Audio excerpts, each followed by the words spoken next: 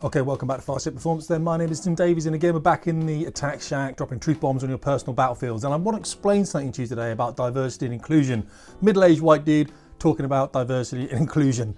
But there is someone who's written to me who knows what they're talking about and it's an email. So another thing I've done, I've changed the camera setup and the mic setup. Hopefully it's a bit better for you.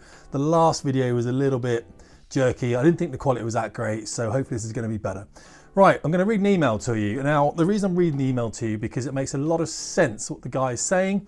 Uh, he's been a practitioner of D&I for a long time, even before it got corrupted in the way it got corrupted. And I want to explain to you what he means when he talks about some of these terms because I've done a lot of reading on this over the years, and I think what we see in things such as NHS and education, governmental organisations, the military, is the wrong D&I. It's the D&I they think they should be doing and not the D&I they were supposed to do. And that is probably because it's been hijacked by companies such as Stonewall, who are, as we know, race grifters and they have, or, or gender grifters, and they have uh, obviously a reason to push this stuff because they get remunerated for doing so. So I'm going to read this email to you now. It's been sent in. Uh, he's seen one of my videos. It was the one where I talked about the Top Gun premiere, Top Gun 2, and they did not want any white guys. So the Royal Air Force said, um, well, the Royal Air Force didn't want a white guy to go. They wanted to show how diverse they are because they thought uh, being diverse meant pushing black people in front of the camera, okay, and not letting white people. So really what we think diverse means in the Royal Air Force is not white men. So anything but just not white men. Men specifically, by the way, but women come a close second to that, of course, especially if they're white. Email them. Uh, Hello Tim, having just viewed your video post on the diversity issue, I'd like to add to the conversation. I have written curricula and facilitated diversity and inclusion seminars for 25 years for both private and public sectors in the UK and the USA. Along with the distinction between management and leadership, diversity is one of the most misunderstood of all soft skill disciplines. I've seen it become hijacked by the woke culture, weaponized and misused as a convenient aid to promote a skewed agenda, an intent which the mainstream media endorse. That's important to note. Remember divide and conquer? Okay, it's much better that we're raging each other. Okay, be distracted from everything else happening in the world. Who owns the media? Think about that. And who said the media could be the media as well? Right. Tell one individual you're Napoleon Bonaparte and everyone will think you're mad. Convince a critical mass you are Napoleon and people will start to believe you. Point is, etymology matters. Words are individual tools that direct attention. Very important. Very important that. Clever use of language allows one to direct people's attention at any point on the compass. Advertisers and marketing giants exploit this in every aspect of their work, as do spin doctors, lobbyists, and such. The combination of a skewed agenda, clear use of language or clever use of language and the power and influence of the media has created a conglomerative force that has driven the diversity agenda into its own back passage. His words, not mine. I may not have the power to halt this nonsense, but I can offer a better perspective drawing from my 25 years as a diversity facilitator. This man's got some knowledge. Told you about dropping truth bombs. I dropped some truth bombs. This is a nuclear truth bomb coming at us. We're not going to survive this one. We're going to be saturated in the truth fam. Of course, race, ethnicity, and other superficial elements were discussed, but only in passing. They really are not that important.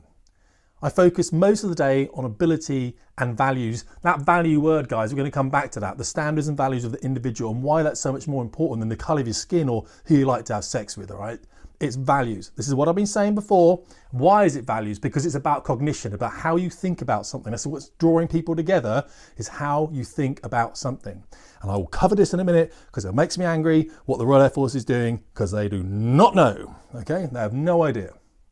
Right, these two facets, uh, ability and values, of human capability should be at the core of any diversity initiative. Focusing on Black Lives Matter or the colour of one's skin only serves to antagonise the narrative. I repeat, words are attention directing tools.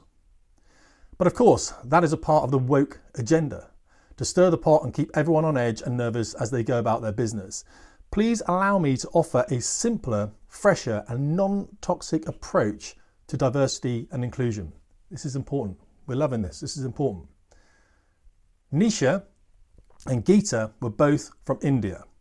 They shared a similar upbringing in the Hindi religion. They went to the same school and college and both became occupational therapists. They were both middle class and decided to move to the USA. Where I first met them, we became friends. They shared an apartment and worked in the same hospital. After only a month or so, Nisha had to move out as she didn't gel. She had to move out as they didn't gel. Geeta was very conservative. Nisha, very liberal. Geeta wore traditional Indian clothes. Nita, a humanist, uh, liked to stay in of an evening and read while Nisha went clubbing. Geeta was devout. Nisha was the humanist. And Nisha preferred to wear jeans and a t-shirt. You see where this is going, he says. Race, ethnicity, and the like have little bearing on diversity. Human values and ability do. Do you see what this is saying? It's nothing to do with the skin color. We'll come back to this, huh? We'll come back to this. Let, let the man finish. Let the man finish. Geez, we're rushing ahead here. These two individuals parted as friends due to their distinctly different values. Yet on the surface, they did not appear diverse. And there, you will find over and over again the true nature of diversity. Conversely, you can have a black lesbian woman working alongside a white heterosexual man. They share similar values, which brings them together. And as a team, they achieve a great deal. Do you see what diversity was supposed to be? Do you see it's been hijacked by the bloody grifters out there? It makes me so angry. I'm not angry either. I sort those problems out, luckily. Right. People, therefore, who may seem very diverse on the surface, may actually complement each other if they have shared values. I'm not going to talk about it. I'm going to let the man finish. Let the man finish. So much to say on this. so much to say. Right. It is such a shame diversity has been corrupted and used to advance a toxic agenda. Even when values are not shared, a shared intent or strategy can allow people with different abilities, skills, and values to come together for a common goal. As a skilled facilitator, it is my job to bring this latent potential to the surface and in doing so, prioritise human performance over something as trite as age, sexual orientation, or whatnot. Ability, shared values, or a mutually shared common intent is what matters most. almost done. I'm afraid the current diversity agenda is now far too powerful and its traction unstoppable. Like a runaway train is a sad state of affairs that my approach to diversity, one based on shared values rather than race, etc., has fallen on deaf ears. As the great Mr. Churchill once said, people stumble upon the truth, then brush it aside as if it never happened. I'll finish on a positive. I've enjoyed facilitating this most fascinating subject. I can tell you without, without exaggeration, every class I've run has enjoyed moving away from the usual diversity topics of sexual orientation, colour, etc., and found exploring core values to be far more worthwhile and valuable. The majority of people want to work well with others. It's part of the altruistic aspect of our evolution that defines the human condition. It is the minority that is skewing the agenda but it's a squeaky wheel that gets the oil. Let me talk about that in a second when we come to social justice warriors. Your video post has reignited my interest in the subject, but I feel the monster has become far too big for me to battle single-handedly. Good luck to the RAF and other organisations as they continue to grapple with the elephant in the room. I'm not sure they can advance any sensible approach to the diversity conundrum until they begin to recognise it's about values and ability, not, he swears here, I won't swear, not what colour you are. So this man's got enough experience, you know what I mean? Allowed out, you know, that's the whole point. He's, he's you know, he's, he, he is, he is um, speaking some truth here. Now, what do we want to talk about? So we talked about the values. Now, if I, I've got, I've got, uh, I'm that guy who goes, I've got black friends. Online, I follow loads of black dudes, all right? I follow loads of white dudes as well. And it's not because they're black or white that I follow them. It's because our values are really aligned. Some people I, value, I, I follow because our values are, are, not that much aligned, and I'm interested in why that is, and that's how we learn, isn't it? But so I follow a lot of black. I mean, black black conservatives in America seem to align with my principles, which are of self-discipline, um, the self-work, you know, the, the protection of the family, the, the, the doing the work, the bringing the money back, They're not being a victim. They're not asking for anything. Um, the self-containment, you know, they're taking responsibility in something. You know, I run a rowing club, that kind of thing. Uh, and, and there's a lot of black conservatives out there that seem to be doing that. You know, they're putting shirts and ties on, they're putting suits on their kids and everything. They're going to church on Sunday. Uh, they're teaching their kids discipline. King Randall's a dude I follow on Twitter. If you don't follow King Randall, he's a young dude. I think he's like 23 years old. Built a school for black kids in his community to teach them the essential skills, such as how to install a toilet or, or fix a car tire, stuff like that, because their, their, their fathers aren't at home. That's not necessarily a father problem about the father not being at home. I used to think it was, and we digress. But a lot of the time, uh, a woman uh, maybe trying to catch a man and they have a child, and the, the man's not. He's like, I'm not staying here. So it's on both sides. They don't, we're not chastising black uh, fathers in America, nothing like that. Okay, but King Randall's a good dude to follow. There's some other guys I follow as well. Uh, but I'm not following them because they're black. I'm following them because we've got the same values. You know, we understand it. They say something, I'm like, yeah, right on. I send them stuff, they send me stuff. I'm like, yeah, it just happens that they're black and I'm white. In fact, King Randall, when I first followed him, I remember he, he was uncomfortable with, with people following him that were white. Uh, and he actually said it later on. He was only a young dude at the time, building up his school. It was very evolutionary when I first found him. And I remember later on, he actually kind of explained in like a video um, you know, he, get, he was like, I guess, you know, us black and white guys are, are, trying to do the same thing. And I didn't, I didn't realize that at the time, you know. So we've got the same values. That's what I'm saying. And that's exactly what this guy's saying in this email. There are some bits I want to bring out though. Talked about shared values, haven't we? That's the whole point. The problem with the Air Force, I find, I don't want to hit the Air Force for this because it's kind of dull to me. You know what I mean? It's not of interest anymore. I've, I've kind of moved on, but I look back on the Air Force and I just wish they would change this because I think it's quite toxic. I think um, I had uh, an email from someone. They've been told not to speak to me. You know, they've been told not to speak to the press. They've been told these are the people in the Air Force. If you leak a, an email or you leak a piece of um, information out of the Air Force or whatever, then you're going to lose your job. Okay, they've all been told that, but the the sort of anger inside the service is so much that they they can't change it themselves internally. Some of these people, so they need me to speak out on topics that they they can't even speak to their bosses the direction is from the top. So it comes down from the Chief of Air Staff, Sir Mike Wigston, who I served on a squadron over there on Tornadoes. He's a nice dude, I like Mike Wigston, but he's got this thing about um, probably about fairness or social justice, and he is most definitely a warrior. Um, so he believes that we should bring in, we should we should sort of mirror society. Society United Kingdom, 13.8% ethnic minority, 3% blacks. He's trying to mirror that. In fact, the email I was shown a bit of, said that he had directed beneath for the careers officers to have 12% entry for they wanted 12% blacks in the service or minorities in the service by next year and then 14% after to get that 13.8 luckily some seniors there, there is a legal department you can't do that there is a legal department within the air force that turned around and went hold up you know we just this is not we can't do it anyway. We've got 2.5% minorities in the service right now about 16% women uh, out of the, the, the, the sex, the sex or gender, whatever you want to call it, but gender critical me, so I say out of men, women, 16% of women, higher than any other service, but only 2.5% minorities. And he wants to make that 2.5% this year into 12% next year. A ridiculous uplift. And what will happen, of course, by doing so is you won't be bringing in the white people. Probably the white man's going to be discriminated against. And any discrimination is bad. You can't solve discrimination by more discrimination.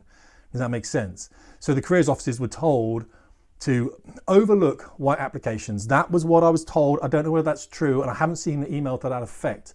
But I've been contacted, and people would say, "You wouldn't believe it, Tim. It's worse than you think. It's pretty horrific here." You know, one of the dudes was like, "I work within the careers department." He didn't say whether he was in a armed forces career office or not. He said, "But we had a directive to interview and to, to bring forward the names of, of what would be BAME, I hate that term, but ethnic minority candidates and women which meant, of course, we removed and didn't reply to uh, what we felt were, were white men, especially white men. Now, you could bring a civil case against them for that, for discrimination. You could, if I had those emails and I could prove it was done. But I know the legal department in the Air Force tried to stop that. So there is some hope out there because you can't do that, right? You can't do it.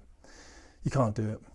So that's what diversity and inclusivity was supposed to be. It was supposed to be about recognizing the shared values you have and moving forward. The same thing with psychological safety, which is an interesting one for me. I read this the other day as well. Psychological safety. People think that psychological safety means that when someone says something to you or they tut or they wink or they, you know, whatever, or they, then you can complain against that person. In some way they've, they've caused you a micro trauma. And that's not the case. The whole point of psychological safety was allowed was to allow people to say things that were unpopular in the workplace. So I could say in the workplace, I think this diversity policy we have here is fundamentally wrong. And I would be protected because of psychological safety. It would be a safe place for me to be able to talk in the workplace. So a senior officer couldn't say to me, you're wrong, I'm going to post you to the Falkland Islands or whatever for eight weeks or something to, or put me on re-education training, which seems to be happening around right now with the police force in some constabularies with the non-hate crime incidents, I think it is, or non-crime non-crime hate incidences. So they're not a crime, they're not hate incident, but they can still register. I think some forces have stopped doing this in the UK now, but it was a good way of paying attention to things that didn't really matter for the police. They get the statistics up. So then they can send you to re-education and, and, charge you 60 quid or something for the re-education of your mind. That's like thought police stuff and everything, isn't it? That's 1984 territory. That's National Socialism, of course, which we saw rising up through the 30s, didn't we, in Germany? So there's that.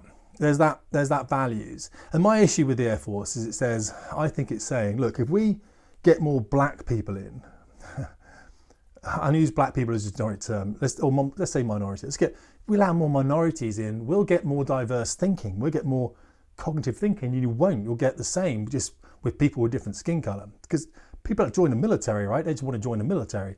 I'm not going to keep this too long, guys, all right? I won't keep this too long. So you won't. What you will do is stop someone else who may be better. Because remember, we're talking about a meritocratic hierarchical structure that base that bases itself on on performance and consistency and effort and reward and application and you know, ingenuity and ability and all these kind of things, okay? You don't get that just because you're black. You don't get that just because you're white. You're not going to get promoted up the ranks. We need the best people in. Now, the best people might be in the black community. They might be in the Hindu community. They might be in the Sikh community. Um, they may be in the white community. They may just be. Now, the justification for putting people in front of a camera like this and, and saying, have a look at all these people is so that people in those communities turn around and go, oh, there are these people like me in the Air Force. And the balance, of course, is can we still do that? It's always a balance without deleting the white man. And I'm here as a white man to say, you can do that if you want to, but every time you do delete the white man, I'm going to put a YouTube video up about it. I'm Going to make it look stupid, as stupid as I can. Because what that's going to do then is it's going to hopefully make me think twice. Because inclusion, remember, should be inclusive. It shouldn't delete any race. It shouldn't delete any gender, I hate that, or any sexual orientation, should it? We know that, right? That's what inclusive is about. I think that's pretty much it. Uh, I think that's pretty much it. So hopefully, I think I've, I've spoken enough there, I think, and uh, hopefully it gives you something to think about, guys. There's probably more I can add to this. I really wanted to just try out the camera as well and the, the mic. Let me know in the comments if you think it's better. It's a DJI pockety thing, I think, and I've got the mic thing here as well. Let me know if the audio is good for you. Let me know if you prefer this. I've got to read off the screen here. Maybe I can put it next to the screen a bit closer so I'm not always looking away from you. But I appreciate your time. Thank you for watching the videos. Really good support and it just makes me want to make new videos, all right? So hopefully that worked for you. Notice I'm not having to go at the Air Force, am I? I'm a fluffy guy. What can I say? I'm not having to go. You know I'm not having to go. I love them. You know, there's a lot of love to me in the Air Force, all right? Also, just as an end state, um, I, I, did speak to someone in the service about the red arrows, and the culture at the moment is not a toxic one. I did say it was last time. Okay, so last time I said it was a toxic culture. It was in the past. Apparently, it's not now, and it hasn't been for this season. This season, they have gelled together. All right, and they are a good team. I just want to say that. When I'm wrong, I apologise. Apologise to the team. All right, I didn't speak to any journalists or nothing like that. I don't do that stuff. Okay, that's not me. Didn't come from me. Didn't know half the stuff that was in that um, news article in the Sun. I don't want to talk about the news article in the Sun because I don't want to talk about the red arrows. I want to talk about stuff that's important to me and society, which is this stuff here. But I will apologise to the red for saying they were toxic, right? Because they're not. I've been told that today. I believe the people that tell me it because they're, they're friends of mine. Got a lot of hours and jets with them. All right, that's it. Till next time, guys. Tim Davies, Fast Jet Performance.